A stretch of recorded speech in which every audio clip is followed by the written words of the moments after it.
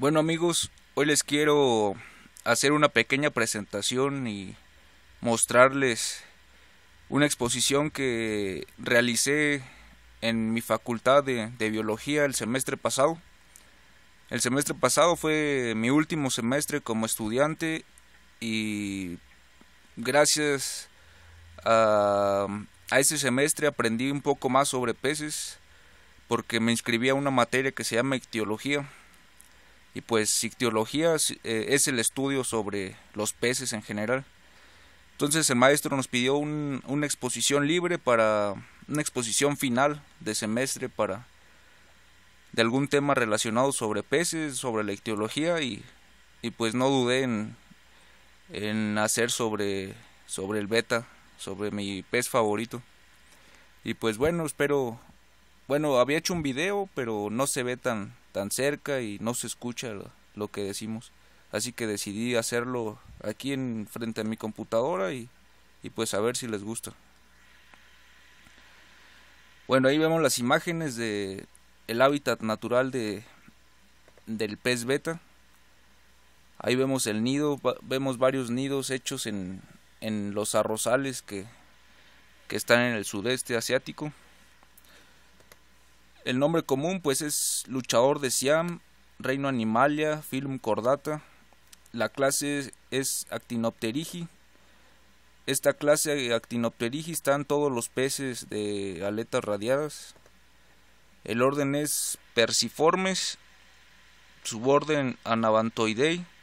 Son todos estos peces que, que pueden respirar con el órgano laberinto como las colisas, este, los betas, o sea, son ejemplos muy muy fuertes de, de estas de estos subórdenes. Y pues antes eh, se tenían otra familia el beta splendens pero con los avances en la taxonomía y en los descubrimientos moleculares pues ya se determinó que la familia es Osfronemide. Y pues el nombre específico es beta splendens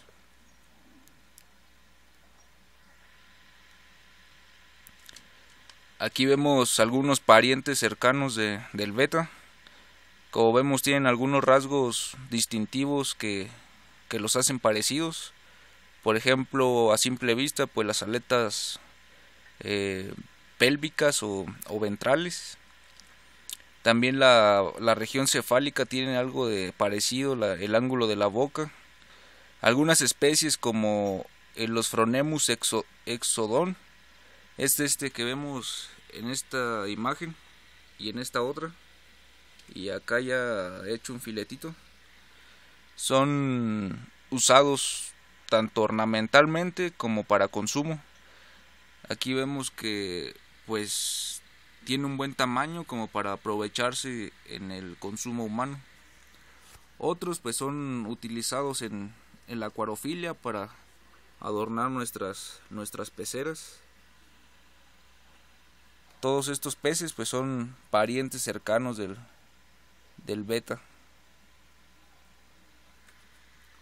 Dice Osronemida es una familia de peces del suborden de los anabántidos. Y pues todos, incluyendo al beta, se pueden llamar guramis eh, como nombre común. Y pues todos estos son originarios de, de Asia. Aquí vemos la localización geográfica del beta. Eh, se encuentra extendido a lo largo del sudeste asiático, específicamente en las regiones de Vietnam, Malasia, Tailandia y Laos. En este mapa se puede observar claramente en las zonas que están de un color más rojo, son las partes donde se encuentra mayormente distribuido este pez. Y como sabemos, pues Tailandia es uno de los países con mayor aprovechamiento, eh, mayores criaderos y pues de los mejores eh, creadores que, que existen a nivel mundial pues son tailandeses. Aquí vemos algunos colectando del medio natural. Este es el medio natural donde se encuentran los betas, ahí vemos los nidos silvestres que, que se encuentran en la naturaleza. Campos de arrozales este, inundados. Debido a este hábitat en, en aguas poco profundas y estancadas, el oxígeno disuelto es muy bajo, este casi de cero. Todos estos peces tuvieron que adaptarse para poder vivir y poder respirar eh, en este tipo de aguas a una temperatura de 27, 28 grados a mediodía y, y pues con una gran cantidad de materia orgánica eh, dentro del agua, pues el oxígeno disuelto era, era nulo. Así que se adaptaron y desarrollaron el órgano laberinto, que es una extensión del primer arco, del primer arco branquial que se encuentra vascularizada, el cual el beta al tomar oxígeno del exterior lo incorpora hacia las hacia las branquias de su organismo y, y pues ya no depende de la respiración branquial. Incluso si un beta se queda atorado eh, adentro de su pecera, pues muere ahogado, se podría decir, porque su respiración por medio del laberinto debe de a fuerza debe de salir a tomar oxígeno eh, de, la, de la atmósfera, si no, pues se muere. Aquí vemos claramente las aguas con alta cantidad de materia orgánica taninos, flavonoides, todas esas sustancias químicas que, que ayudan a, a mantener un pH ácido, un pH de 6, 6.5, el cual es ideal para, para los betas. Ahí anda uno silvestre, no sé si lo alcancen a ver en el centro de la imagen.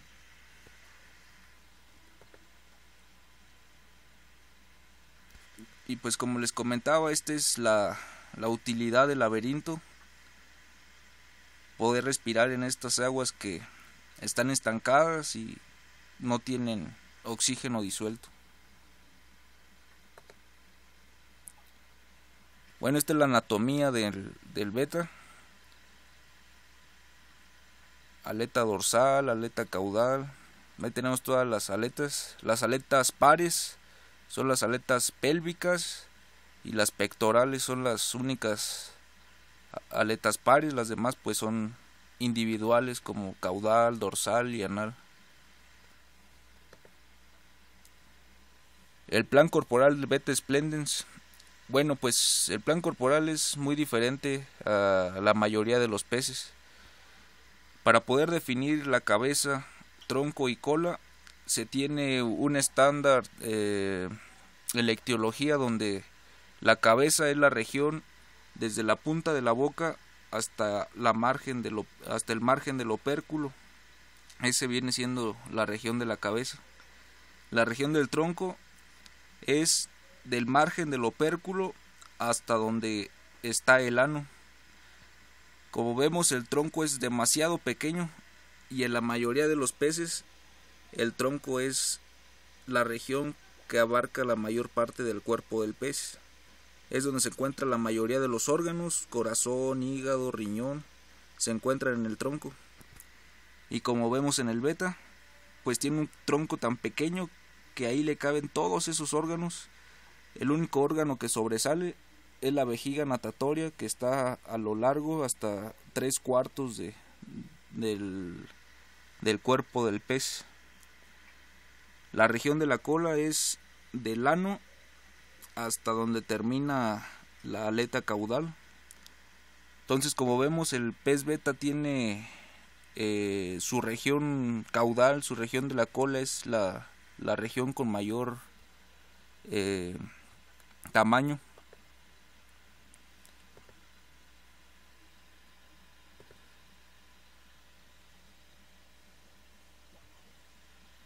Bueno, el cuerpo como el 95% de todas las especies de los peces está cubierto por escamas. Hay varios tipos de escamas, este, pero nada más les voy a hablar de, la, de las que tiene el, beta, que son escamas tenoideas. Ahí en el grupo ya tenemos algunas imágenes sobre, sobre estas escamas que se caracterizan por tener esos bordes eh, aserrados, parecen peines. Y aquí podemos ver claramente la línea lateral que es su, su órgano del tacto, se podría decir. Con él detectan vibraciones en el agua, este, cambios de temperatura, etcétera.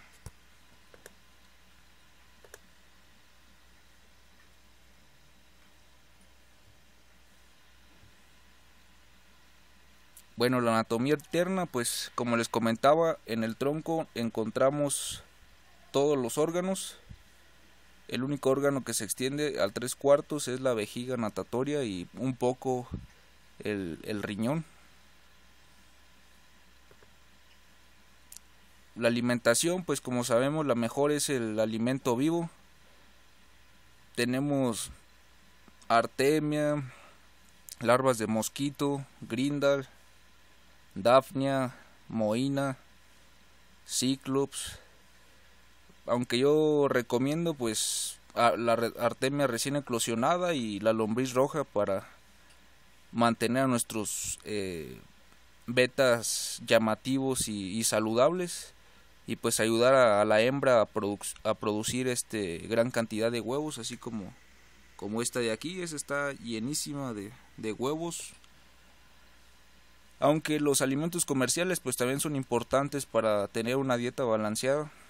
Aquí los ordené desde el que tiene mayor calidad a mi punto de vista hasta, hasta donde el que de plano no recomiendo para nada porque solamente contamina el agua y eh, provoca enfermedades en los peces como es el beta bit ese sí no lo compren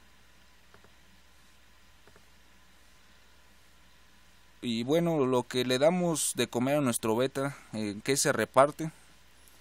Pues de un 100% que le damos de alimento, la mayoría se pierde, un 48% se pierde vía branquial, un 13% pérdida fecal, 9% pérdida urinaria y por lo importante lo que retiene pues es nada más una tercera parte, un 30%, que es lo que le sirve para o, luego ese 30% lo utiliza para el metabolismo, para el crecimiento y para la reproducción.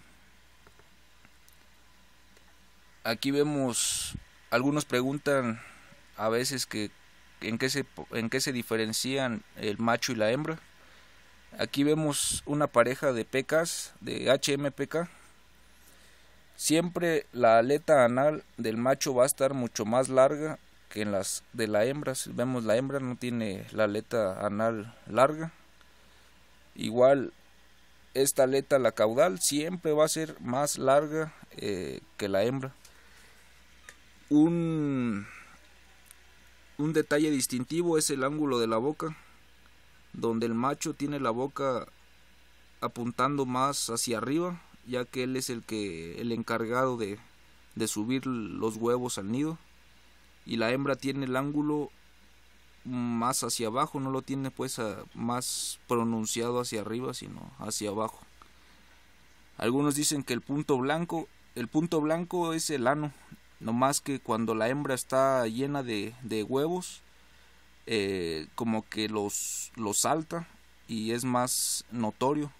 El macho también lo tiene, pero como él no está hinchado, digamos, eh, no, no es tan visible. La hembra suelta los huevos por una hendidura, una pequeña rayita que está al lado del, de, esa, de ese punto blanco. Bueno, aquí vemos la variedad de, que existen en estos peces. Y pues bueno, a la hora de criar a veces preguntan que qué pasa si cruzo este beta con esta hembra. Pues inténtalo, o sea, yo por lo menos no lo hago por negocio, sino nada más por entretenerme así en los ratos libres o así. Y pues para ver qué colores resultan, aunque no sean nada parecidos el macho y la hembra. Aunque si tú tienes un plan definido de querer sacar solamente Black Dragons, pues debes enfocarte en, en criar peces de características similares para poder obtener un una alta porcentaje de descendencia igual que, que los padres. Los betas adquieren la madurez sexual relativamente los 5 meses, pero algunos desde los 3 meses y medio ya, ya pueden reproducirse. Bueno, materiales y método. Aquí tenemos hoja de plátano, hoja de almendro. La podemos utilizar como soporte para el nido.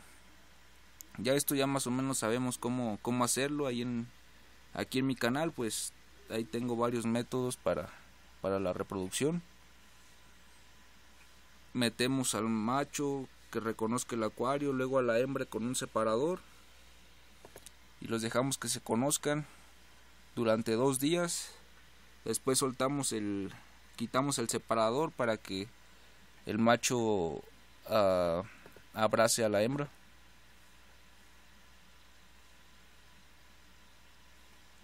Aquí vemos el cortejo, este, cómo abre cómo extiende sus aletas, cómo abre sus opérculos. La hembra cuando se encuentra receptiva tiene tres franjas más claras, eh, así atravesando su cuerpo y su cuerpo va a estar más inclinado. Si vemos una hembra que está así, casi con la boca así parada hacia arriba, significa que pues no le gustó tanto el macho.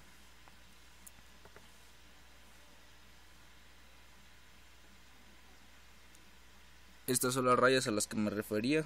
Ese es un indicativo de que la hembra está receptiva.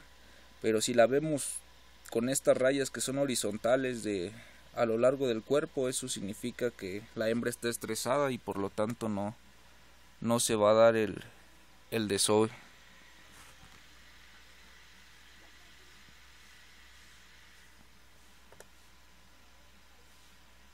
Bueno, ahí vemos el abrazo.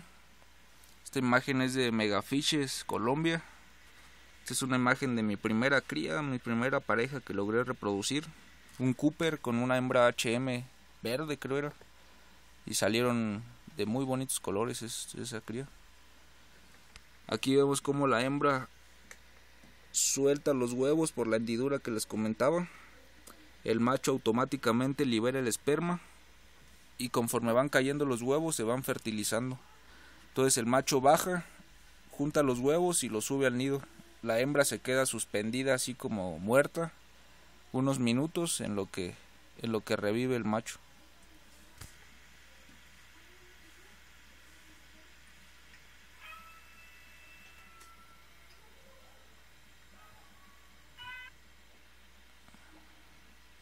Ese era mis Black Dragon cuando se reprodujeron. Vemos como el macho exprime a la hembra y la hembra suelta los huevos, los toma con la boca y como les comento los sube al, al nido. Van cayendo lentamente y conforme van cayendo van siendo fertilizados por el esperma que está flotando en el, en el agua.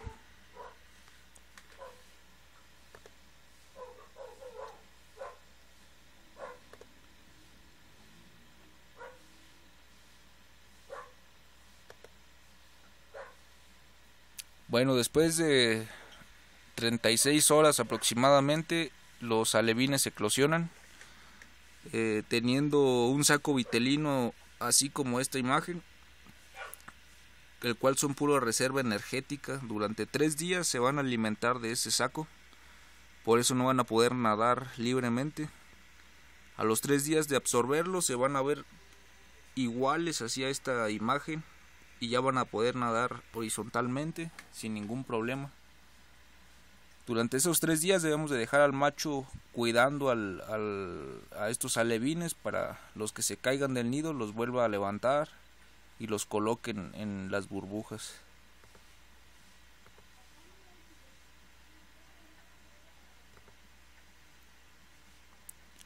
Bueno, ya que cumplieron tres días y vemos que están horizontal, sacamos al macho con cuidado y ahora sí lo alimentamos bien para que se reponga de todo el desgaste energético.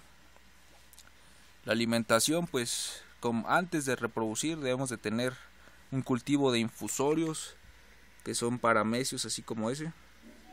Esta imagen son paramecios, son organismos microscópicos que le vamos a dar de comer cuarto, quinto y hasta sexto día se lo podemos dar.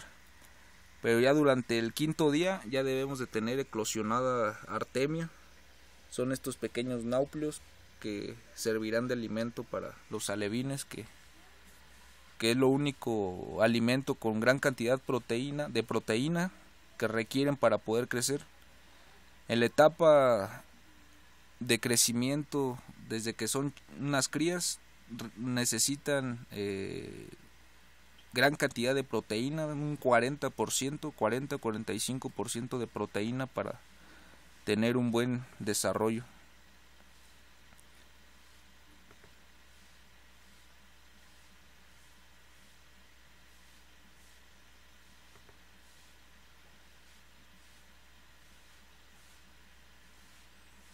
Bueno, aquí vemos las crías. A la tercera semana van a, terminar, digo, a comenzar a desarrollar el laberinto. Y al mes y medio, ya que tengan 45 días, ya, ya podemos destapar el acuario para, para comenzar a separar los machos o, o bueno, ya nada más para ya no tenerlos tapados, pues. Pero eso hasta los 45 días, no menos. Vemos el desarrollo de los alevines desde que es un huevo hasta que se convierte en un espectacular beta adulto. Y pues esa fue la exposición en Pátzcuaro que, que fuimos, donde expuse también este tema, nada más que nos falló esa vez el proyector y pues me tocó hacerlo igual con la computadora. Y pues bueno, eso es todo. Espero les haya gustado el video. Cualquier duda, pregunta, ahí estamos. Y pues si les gustó, denle un me gusta ahí en YouTube. Y no duden en compartirlo amigos, que nos ayuda mucho a, a seguir subiendo mucho más videos. Un saludo y, y gracias.